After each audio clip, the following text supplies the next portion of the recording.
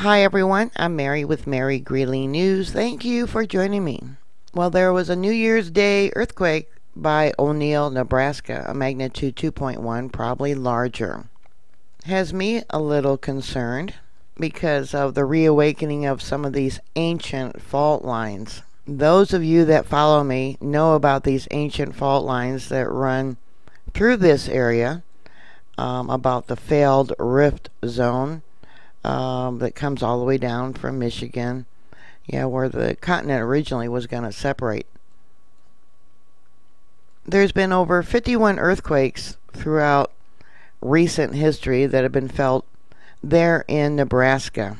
And this 2.9, like I said, it was probably larger, was more than likely part of the Ord escarpment. Ord escarpment. Down here, down here we have the Grand Island and the Platte River. In 1887, there was a magnitude over 5 earthquake. And studying the geology like I do, uh, many of these areas, you see the uh, areas of water and what looks like blowholes sand blown up from you know the ground during a major earthquake. These are all indication of an area capable of having large earthquakes. I want to look over here. If you look at this, it's like, oh my goodness, wow.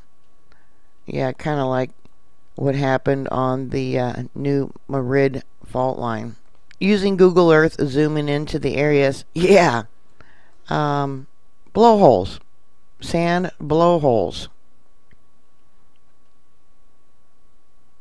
Once you understand what they are, they're easily identified. See the areas, circled areas of sand? On March 28th, 1964, there was a magnitude 5.1 that was reported in Van Tassel, Wyoming, and was felt throughout this area. Um, South Dakota also, Nebraska.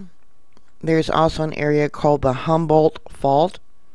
You can see that there. That fault line was responsible for the largest earthquake in Kansas history with the 1867 Manhattan, Kansas earthquake. They didn't have the Richter scale back then, and they figure it was a magnitude 5.5. Earthquakes in this area are relatively rare.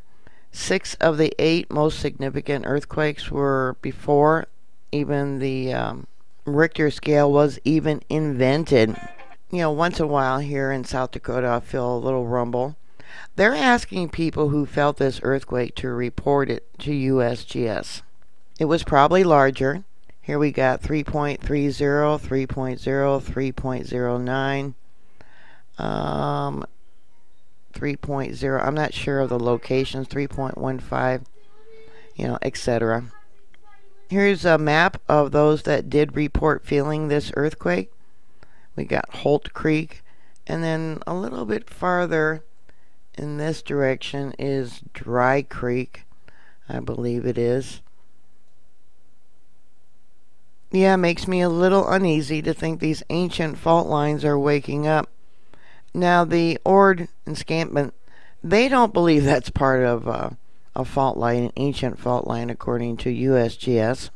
Um, some believe it is, and others believe it's not. So it's all up to interpretation. So, did you feel this earthquake? If so, what did it feel like? Did you have damage? Did anything fall off the shelves? Was uh, there noticeable shaking? Please, uh, please put your comments down below.